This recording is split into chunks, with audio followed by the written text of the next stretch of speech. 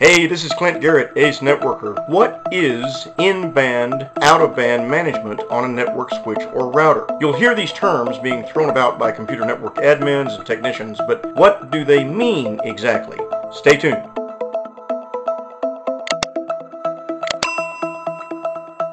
So, in-band, out-of-band management. If you haven't watched a previous video I made showing what a managed switch is, I'd highly recommend it, as it shows what we mean when we actually manage a switch or a router. But when technicians and admins talk about in-band and out-of-band, what exactly are they referring to? To make this simple, I'm going to show you the traditional and more commonly used method that a lot of computer networks use for managing their switches and routers, and that's what we refer to as in-band.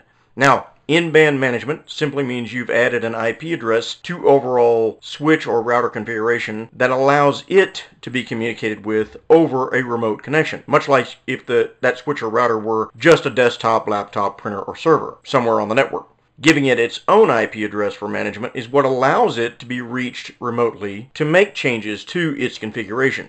So when we say in-band management, that simply means we're remotely managing that switch or router over the existing network. Again, this is the most commonly used method for managing switches, routers, and other networking devices over most computer networks, so it's not unusual or unheard of. But so if we refer to managing devices over the existing network as in-band, what does out-of-band mean? Most higher-end switches and routers, and many servers as well, are made these days with a management port specifically for managing that device from a remote connection. But these management ports are connected specifically for just that, managing.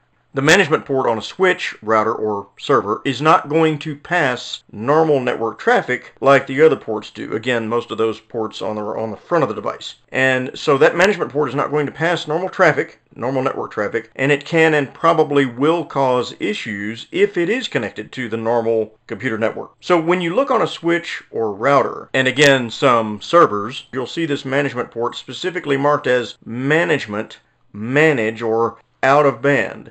This is where the term out of band comes from. You're outside the normal band or network on a separate connection. You'll find some computer networks, especially the bigger enterprise level networks, with the normal network setup using all the ports normally on the routers and switches, and then you'll have an entirely separate out of band network just for connecting to and accessing the management ports or out of band ports on the switches and routers. When this type of setup is used, it's referred to as out of band management. And to offer a little more clarification here on the industry itself, when you have separate out of band management networks or outside the normal computer network being used, they will not have the same bandwidth or volume of traffic that you will see passing on the normal computer network. Well, again, on the ports on the front. So oftentimes you'll see slower, smaller switches and connections used on the out of band network than are needed elsewhere on the network, on the primary network. I've even seen what they call dumb terminals connected to the backs of switches and routers that are utilized just